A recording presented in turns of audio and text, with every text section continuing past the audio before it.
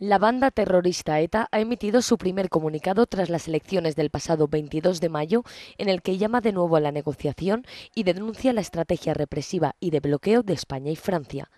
Asimismo, la banda terrorista reflexiona sobre las elecciones forales y municipales del 22 de mayo, una cita en la que, según considera ETA, ha quedado demostrado que Euskal Herria ha ganado la batalla política e ideológica de la ilegalización.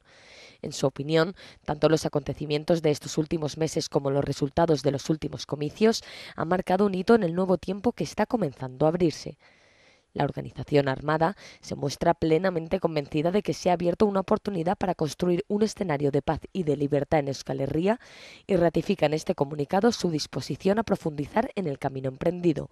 En este sentido, ETA llama a todos los agentes a trabajar en favor de la solución y a abrir entre todos espacios para el diálogo y la negociación.